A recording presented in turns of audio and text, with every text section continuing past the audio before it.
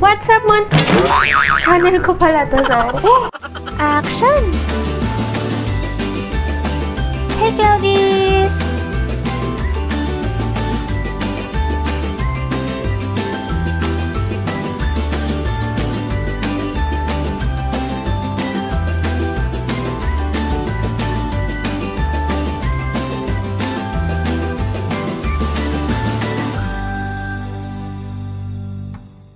Hey Claudies! Welcome back to my channel. So for today's video, as you can see naman sa aking title, ngayon na-unbox ko and ipapakita ko or gusto kong i-share kasi sa inyo kung saan nga ba magandang makabili ng tripod or filming equipments. Dalawang items lang naman tong i-unbox natin. Ito, yung binili ko na felt cloth sa Shopee and then ito, wait lang, medyo mabigat siya. Ito yung binili kong tripod sa Lazada. Hindi pa kayo nakasubscribe sa aking channel, please click the subscribe button down below. And also, you may consider clicking the notification bell para updated kayo sa aking mga susunod na videos. Hindi natin patagalin to, so without further ado, let's get started!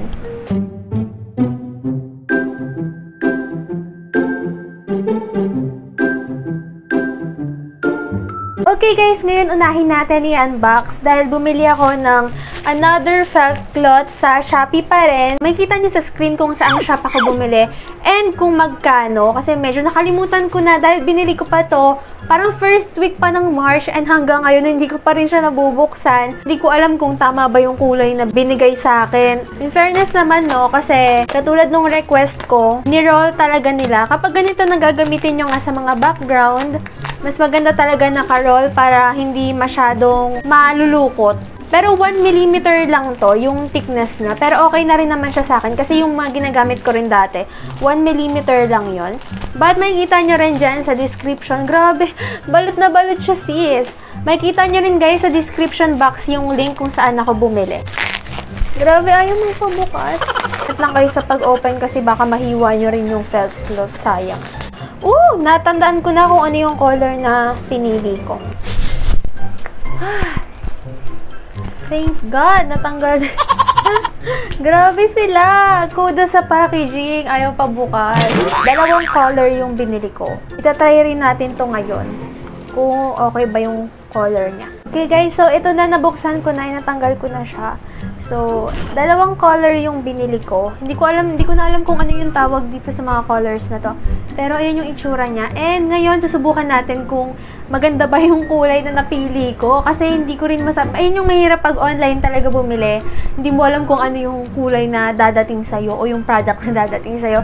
But yan, so let's go. Initial reaction ko sa color na to Okay naman siya, pero parang medyo kahawig siya nung isa kong backdrop. Medyo nag-complement naman siya sa aking skin tone. Napansin ko lang, no, nung inahawakan ko to, parang mas makapal siya compared dito sa blue. Hindi ko alam kung nagkamali sila, pero parang nasa 2mm to. Tapos ito yung 1mm. Kasi itong blue, kaparehas niya yung mga nauna ko, which is 1mm. Medyo malambot siya. Pero ito talaga, ang tigas niya. Siguro baka na mali sila. 2mm yung nabigay sa akin or what. Ngayon, subukan naman natin yung pangalawang color. Okay guys, ito naman yung itsura ng isang color. And mas gusto ko to parang mas napapa-brighten up niya yung kulay ng video. Mas okay to kaysa dun sa isa. And napansin ko lang yung isa, parang meron siyang red dots na hindi ko alam kung siguro pagka-manufacture. Ganda niya, as in parang nakaka-fresh. Sobrang affordable lang nito guys. Depende pa rin naman yan sa inyo kung ano yung size na bibili nyo. Pero sa akin, okay na yung one and a half yard. And okay na, sakop na sakop na niya yung aking video. Excited na ako yung unbox to. Oh my gosh. Ito yung pinaka-inaantay ko talaga. And nakaka-excite lang. Ayun na naman tayo sa excite. Paulit-ulit na naman ako. Nung nakaraang video, puro excite na naman ako. Sis. Speaking of last video, matatandaan nyo, sinabi ko dun sa video na yon. Susunod ko naman na bilhin ay tripod. Dahil yung tripod nga na ginagamit ko sa mga videos ko ay yung tripod ng aking ring light which is, syempre hindi naman yun. Parang yun talaga yung purpose niya kasi para ngayon sa ring light. And hindi siya talaga pang camera. Pero nagagawa naman ng paraan kasi yun nga yung gamit ko. Pero medyo nahihirapan ako and syempre kapag lumalabas, uh, wala akong magamit. Alangan namang daling ko to, eh napakalaki niya. After ng video na yon ay nakabili na rin ako ng tripod. Ito yung kauna-unahang tripod ko guys. Galing pa to sa ate ko, binigay lang din sa kanya. So sira na to. Ayan, wala na yung dito na part niya. So, medyo maalikabok na kasi. Pero wala na yung upper part niya, kaya hindi ko na rin siya magamit. And sira-sira na siya, kaya napag-isipan ko na bumili na. And sa Lazada ako umorder, guys. Itong product na to ay binili ko kung saan ako bumili ng 50mm yung no na lens ko last time. Which is sa One Gadget. So, suki na ako ng One Gadget sis. Dahil napakabilis dumating and sobrang ganda ng packaging ng mga product nila. So, One Gadget, baka naman. Alam niyo, minsan hindi rin masama mag-invest sa mga ganito kasi papakinabangan naman siya eh, and pang matagalan na to. Okay. Oh my gosh! First impression ko sa kanya, ang bigat niya. Ito yung Xiaomi Professional Tripod.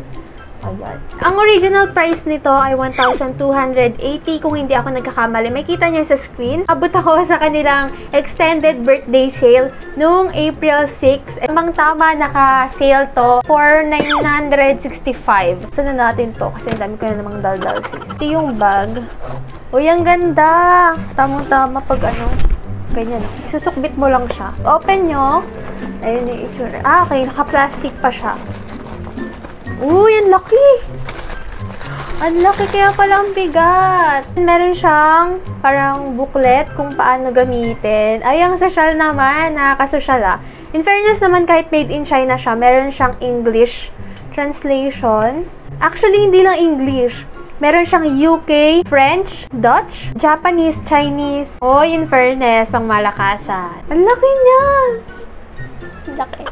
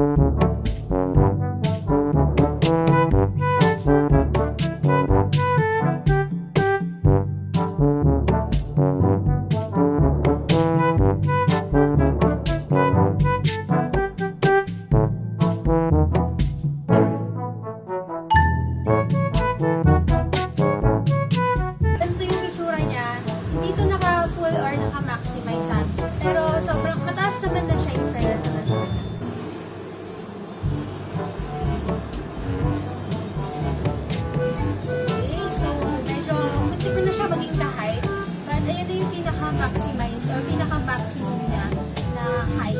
Sobrang taas niya. Kasi ang according sa kanila parang 5 feet daw yata yung haba nito and then meron pang extension.